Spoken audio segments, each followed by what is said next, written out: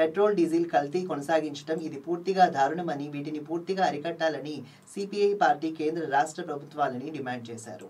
జోగిపేటలోని party కార్యాలయంలో విలేకరుల సమావేశం నిర్వహించారు. ఈ విషయంపై సిపిఐ జిల్లా కౌన్సిల్ సభ్యుడు అజ్జగల్ల నరసింహులు మాట్లాడారు.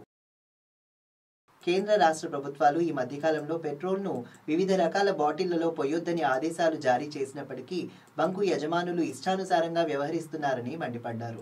రాష్ట్రంలో ఇప్పటికే పెట్రోల్తో తహసీల్దార్ విజయలక్ష్మిని హతమార్చిన ఘటనలు ఉన్నాయని గుర్తు చేశారు. అయినప్పటికీ విజిలెన్స్ అధికారులు ఏమాత్రం పట్టనట్టు వ్యవహరిస్తున్నారని ఆవేదన వెల్లబుచ్చారు. పెట్రోల్ పంపులలో బాటిళ్ళలో పెట్రోల్ కానీ డీజిల్ కానీ పోయేద్దని చెప్పి జియో పాస్ చేయడం జరిగింది. కానీ ఇప్పుడు మాత్రం కొన్ని ప్రాంతాల్లో కొన్ని పంపులలో బాటిళ్ళలో పెట్రోల్ వస్తున్నారు అదేవిధంగా కల్తీ కూడా పెట్రోల్ పంపులలో కల్తీ కూడా కొనసాగుతుంది.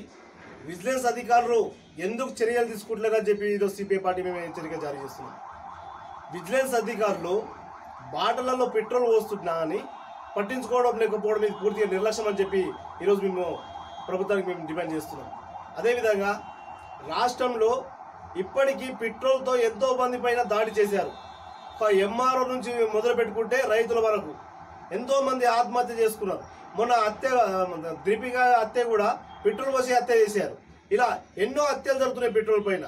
అలా అలాంటి పెట్రోల్ను కూడా బాటలల్లో పోయడము ఇక్కడ ఇది పూర్తిగా నిర్లక్ష్యం అని చెప్పి ఈరోజు మేము సిపిఐ పార్టీకి మేము ప్రభుత్వానికి హెచ్చరిక జారీ చేస్తున్నాం. పెట్రోల్ పోయడం బాటలలో పెట్రోల్ పోయడం వల్ల వాళ్ళు తాగిన మత్తులో ఆ బాటల్లో ఉన్న పెట్రోల్ తీసుకెళ్ళి ఏం చేస్తున్నారో ఏం తెలియని పరిస్థితి. ఈరోజు ప్రభుత్వాలు కూడా పెట్రోల్ పోయేదని చెప్పి